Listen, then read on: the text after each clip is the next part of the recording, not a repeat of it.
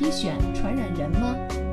如闻医生特邀专家赵连浩，陕西省中医医院皮肤科主任医师。牛皮癣这是老百姓的说法，我们呃医学把它叫银屑病。这个银屑病呢，目前病因不清楚，就是为什么产生不知道。有些有遗传因素，有呼吸道感染因素，还有一些有外伤因素。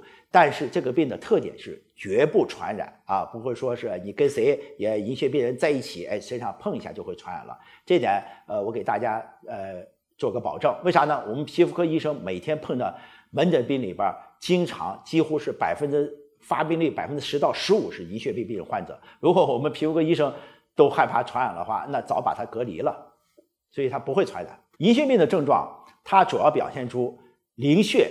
皮疹就刚才你呃提到那个斑丘疹，它身上有一块很多的斑，而且掉皮。有些病人伴着痒，有些病人不伴着痒。它这个呃鳞屑呢，往往突出于皮肤，你一抠能刮出皮屑来，而且呢，轻轻一抠，你还可以看出这个皮屑里边有一个呃点状的出血，我们叫医学叫点状出血征阳性。